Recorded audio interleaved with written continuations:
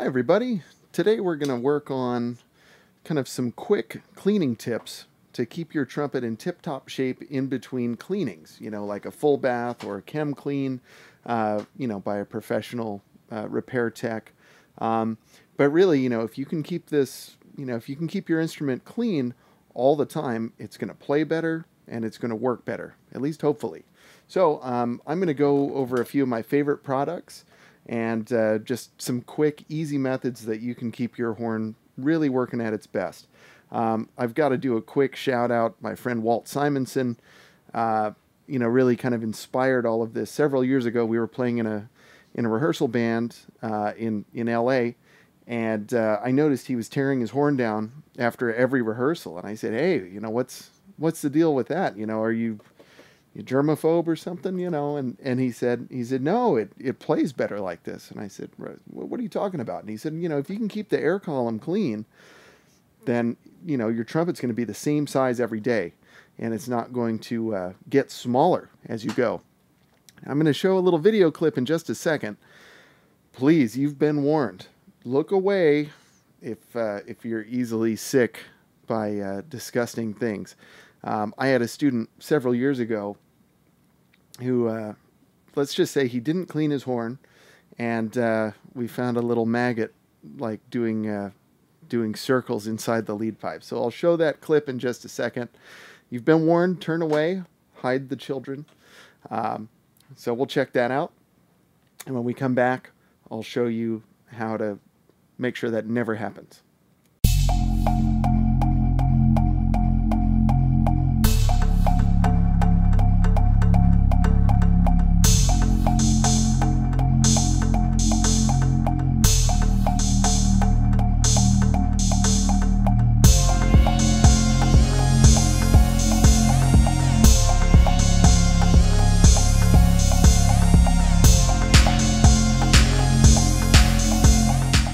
Okay, so we're back.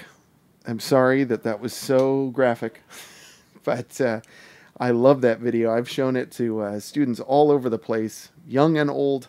I think once you see that, you're going to clean your horn. So let's start with the simple stuff, okay? Um, get a mouthpiece brush and keep it keep it near your mouthpiece. Keep it in your case. Uh, Protec actually makes one with a little nubby end, and it it actually just fits inside your mouthpiece. So when you're done playing, bloop, you can just store it in the brush, which is great. Um, I have several of those, but I can't find them right now. So anyway, when you're done playing, or before you play, whatever, but probably when you're done playing, just give it a, a quick brush, just like that. Um, and then it's also a good idea, take it a step further, get some of this stuff. This is the Santa, no, it's the Mighty Mist, excuse me. Um, if you can't find this, just some rubbing alcohol in a spray bottle uh, or some soap and water. Just you know, wash it off. So I, I, like to give a squirt in the cup and then a little bit around the rim there. And then if I have a, you know, like a clean cloth or something, I may give it a wipe too, just to just to keep it clean, you know, and wipe off anything. So I'll show you there, or I'll try anyway. Totally clean. And so again, the idea is we want to keep this the same size every day. So and you saw how long that took. Let's see. 1001, 1002, 1000. Done. I mean, not even three seconds. So take care of that. Plus, man, that's just gross. you know, like all the food, all the flaming hot Cheetos that you've had. Yuck. All right. So the next thing, um, I'm gonna start. I'm gonna start with like really basic tools, and then we'll start. We'll talk about kind of some fancier stuff that I like. Uh, but just basic cleaning snake. I mean, this one's probably past its prime, but whatever. Keep this in your case, right? And then when you're done playing, it's as simple as this. Pull your main tuning slide out, and then take the snake and just just brush the tuning slide. Um, and you know the tuning slide is going to get a lot of the water out. Sorry, the uh, cleaning snake is going to get a lot of the water out, which is good. You don't want to leave the water in there. Uh, but it's also going to loosen up any any kind of foreign you know objects that got in there. You know, more flaming hot Cheetos or whatever y'all are eating. Uh, and then the next thing is, of course, I like to run it through, you know, the uh, the lead pipe of the trumpet. So I'll kind of run it run it that way and that way. Okay, so Let's see how long that really takes. 1001, 1002, 1003, 1004, 1005, 1006, 1007, 1008. So like eight seconds. Not that bad if you ask me. Um, now that's like the bare minimum. If you can just do that every day, trust me, you know, you're going to save yourself a lot of heartache later on, especially when you when you go to clean it. If you've ever had that experience where you've waited a long time to clean your horn and then you finally do clean it and it just feels like a different instrument, well, it's because it is. It now it's back to its original size, and you had it down to probably a medium or small bore. Um, I'm sure some of the repair guys are going to roast me in the comments for saying that, but whatever. Um, go ahead. um, in any case, so lead pipe tuning slide mouthpiece. Keep them clean. If you want to take it a step further, okay, take off your first valve slide. Hit it with the snake. Again, just takes, like, what was that? Two seconds? Second valve slide. Hit it with the snake. You're not going to hurt it. And then third valve slide. Hit it with the snake. One and two. Done. So now I've done all the slides of my horn. Now, granted, I didn't get I didn't get the part of the slides that are like connected to the trumpet, um, but I did get everything else, all the external stuff. Um, and we're just talking about like quick clean. So let's see, we had eight seconds for the lead pipe and tuning slide, probably another two seconds for the mouthpiece. So we got 10 seconds total invested, maybe 12 if you count like disassembly. Everyone's got 12 seconds, usually. So if that's all you do in between cleanings, your trumpet's going to be in much better shape. I actually did an experiment and I just used this for like a year. Okay, I don't know if it was a year. Maybe that's gross. But for a long time, and my trumpet was very, very clean, surprisingly. I finally did give it a bath and I, I did get some interesting things out of it because, you know, that's not, it's not perfect, okay? But man, it's a lot better than how I used to be with my horns, you know, and I try and do this all the time just to be real consistent. Now, if you want to be a little fancier, get this guy right here, the Brass Saver. This thing is awesome. I like this because it not only cleans out, but it also dries out the slides, which is great. And and it comes with a little rod too, with with some brushes on it that you can get all the other tubes. Um, I don't use it. I know I should, but I don't. Um, I actually had a bad experience with it. I don't want to roast Brass Saver because you know I, I think their product is is wonderful. Um, but I actually damaged my valves using that, so it just kind of scared me away. So in any case, if you notice with this guy, it just it just pulls all the way through and it dries out the slide, which is awesome. So you can see my slide. Probably hard to get the light in there, but come on, focus camera. But there you go. You can see it's it's very clean. Um, and then at the same time, again, it's like anywhere you can fit this little this little end, that's going to go, it's going to pull the brush through. So just going to drop that down the tuning, not the tuning slide, the lead pipe, and then pull that through. And probably be able to see that a little bit. Super duper clean. Now, granted, this horn did have a bath recently, but I've played it a bunch since, and, uh, you know, I have not been perfect. You know, I, I certainly drink coffee. You know, I'm teaching, I'm practicing. You know, I eat my meals. You should really brush your teeth before you play. I don't. I should. And I shouldn't be admitting it to the internet, but here, uh, you heard it here first. Sorry. Um, the other thing that's great about the brass saver, just real quick, you can take off any of the slides. So I'm gonna I'm gonna do the third valve slide. And if you've ever given your horn a bath, you know like getting this little turn here is like next to impossible. But with the brass saver, no worries. You just fit that right through there. And then you can just pull the whole thing through. And again, my buddy Walt, I saw him do this first, and uh, you're awesome, Walt. If you're watching this, thanks for the tip. And really, like I've noticed so much more consistency out of my equipment. Um, it's just nice knowing that, like, because obviously, like, stuff changes with us. You know, our lips may feel puffy or they may feel great. Who knows? Like every day is a new day, but at least if the trumpet can be the same, then we don't have to worry about that. Check it out. First valve slide. Boom, right through, no problem.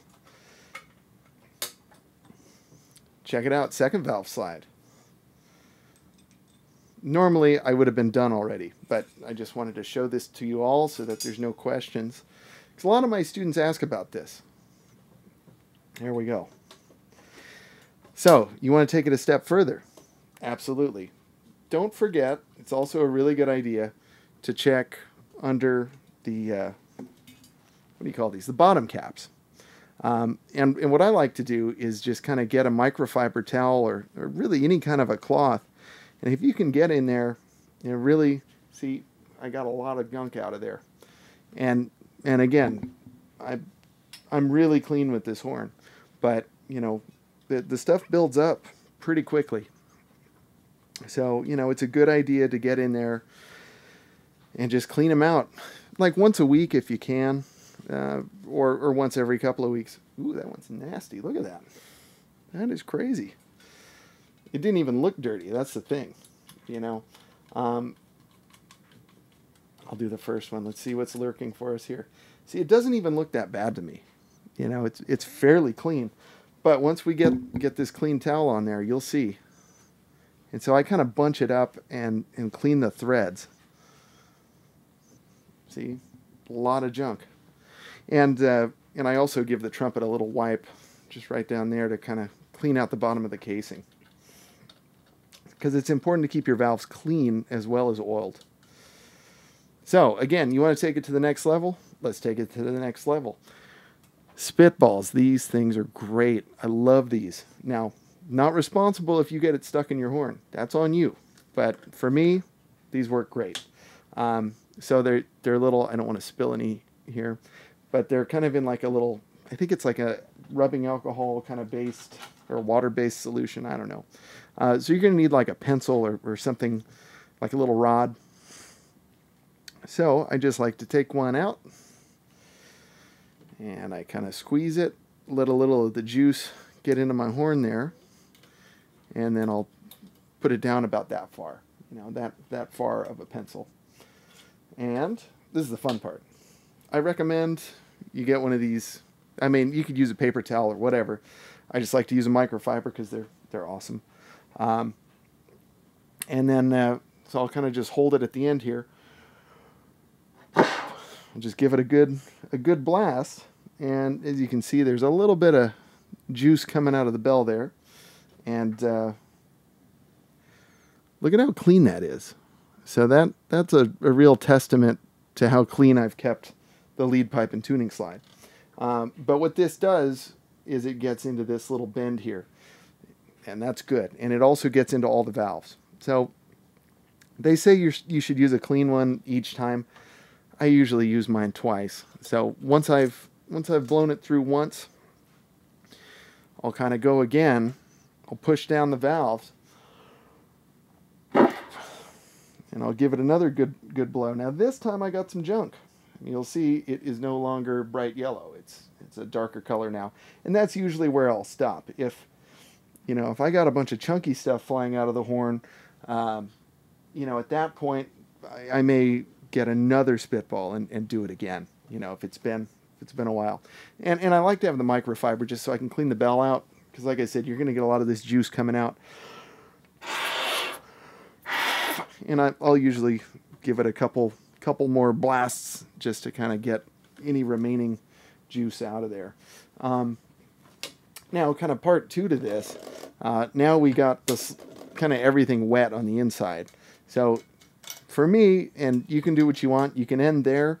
Um, but what I like to do is uh, I'll then take the valves out and, and throw some oil on them. So So I'll, I'll give them a good wipe. So I'll, I'll pull each one out. And I don't know if you can see, it's usually a little wet and you'll see like a lot of, kind of a lot of residue there, you know, that it kind of kicks up. And you can see on the towel there. Yeah, there we go. So I'll give it a good wipe. Valve number two, same thing. valve number three. And again, just kind of get in there, just wipe it down really well. In addition to keeping them oiled, keep them clean. And uh, it's also a good idea to kind of inspect the valve ports and see if there's any, you know, a lot of times you're going to see kind of some green, flaky stuff building up.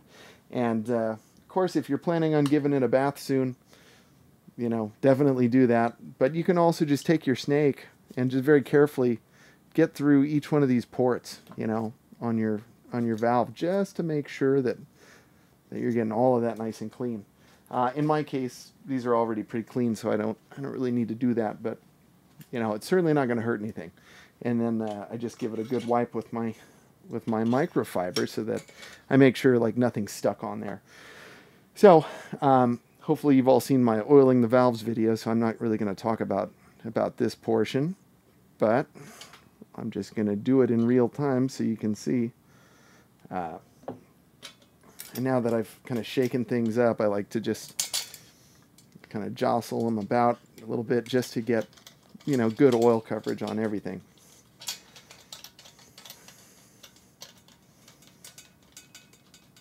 So in a future video, I'm going to cover, um, there we go, it feels so much better. And, uh, and again, like really good to make sure before you put your horn away um, that it's nice and clean and dry. And, uh, you know, it's also a good time to, you know, grease the slides and all of that good stuff. And, uh, and you know, if you have your microfiber out, good idea to just kind of give the horn a good wipe down. Um, I'm lucky my hands aren't very acidic, so I don't eat through silver very fast. But I, I've seen friends just, you know, really quickly they'll eat through the silver.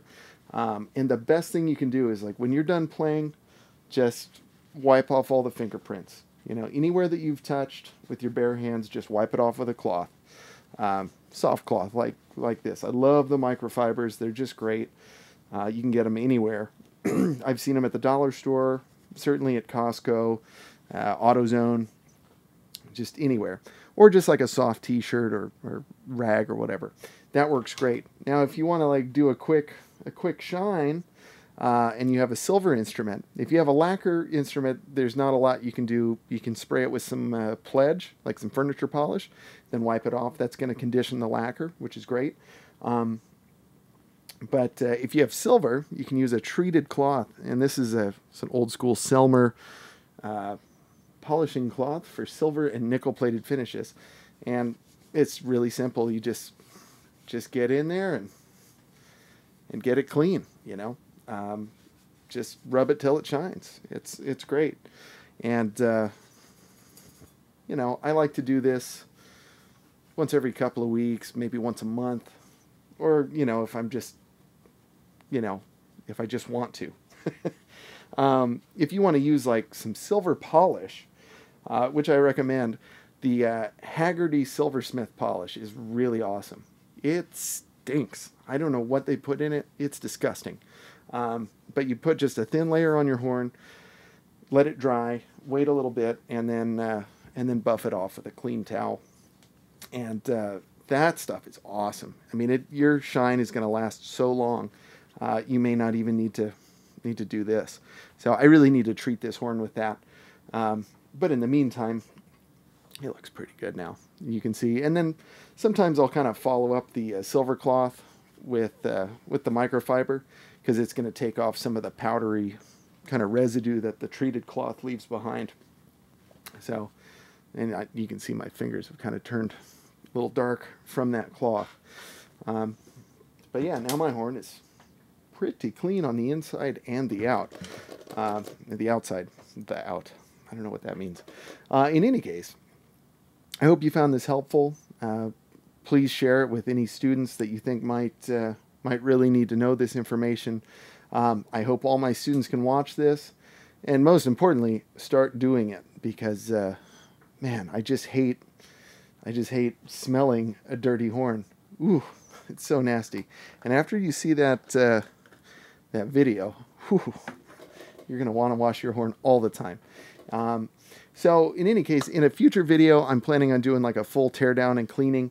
Um, and I know there are a lot of videos online about that. I just want to offer kind of my thoughts on the process and how I do it.